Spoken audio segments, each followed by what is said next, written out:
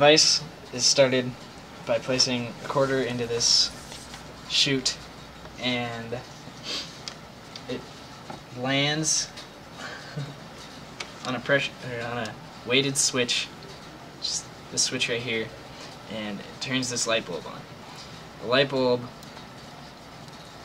generates electromagnetic radiation which is reflected by this reflector to this thermostat. And you just heard that click and the thermostat uh, burns well runs current through steel wool that is placed between here and here. And we can do that real quick. It's probably still hot. Yeah. And uh, the steel wool burns gunpowder but I didn't have the time to put gunpowder on there. And this can steel wool gunpowder unit is uh, well the can has a CAD cell in it and the CAD cell is a photoresistor. Show me that CAD cell again.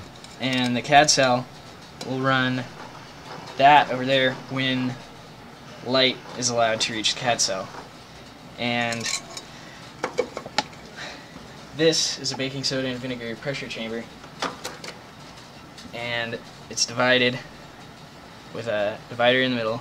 And so when placed upright with baking soda well with vinegar in the rear and baking soda placed right here.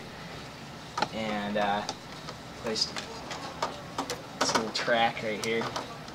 And so when that's rotated it mixes the baking soda and vinegar. And this cap is placed over it. This cap has a diaphragm. And diaphragm is depressed and it switches a pressure switch. And the pressure switch goes to the next One steel more time wool, on the pressure switch. steel wool uh, gunpowder can unit. And this unit in particular runs a relay. You can hear that click. And the relay runs the next can unit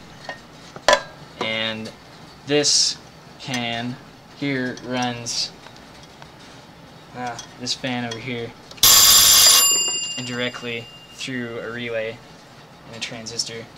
And this motor runs a generator with a belt and this generator uh, runs current through another transistor and the transistor bumps it up to this minute current up to 12 volts and the 12 volts runs this bell. And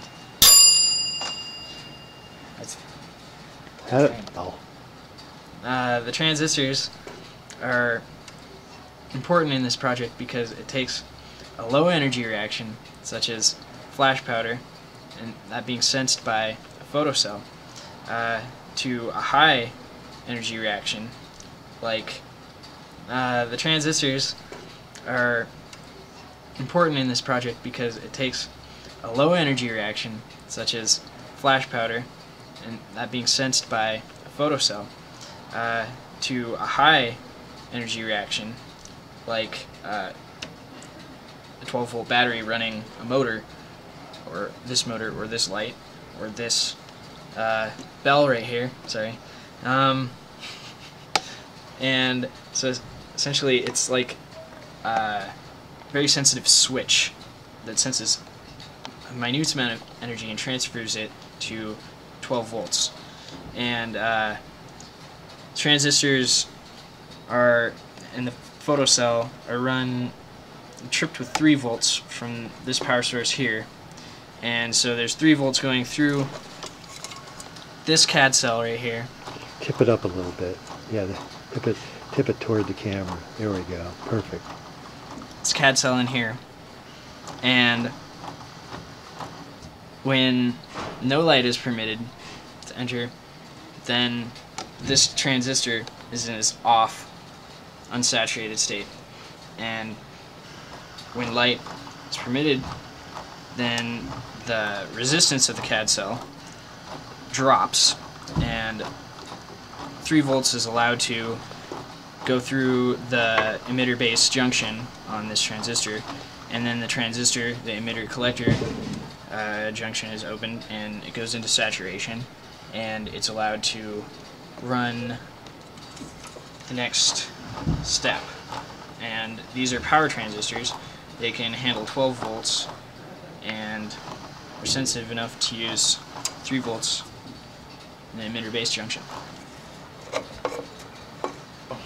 Okay, This is a Rube okay.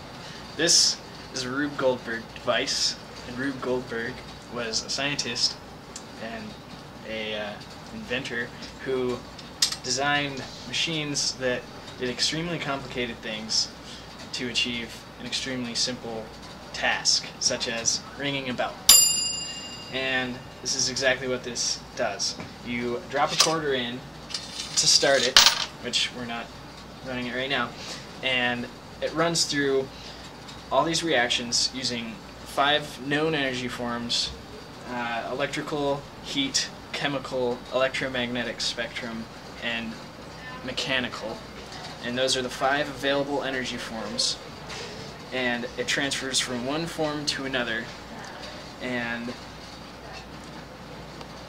leads to the ring of the bell. Now, the. Cut. Alright, um, this was done for. Alright, um, this was done for uh, a thing called the Science Olympiad, and this event is the Mission Possible at Rube Goldberg uh, category, Rube Goldberg machine. And it's a nationwide thing, and I just took uh, state, uh, first place in state for Montana uh, for Capital High School, and uh,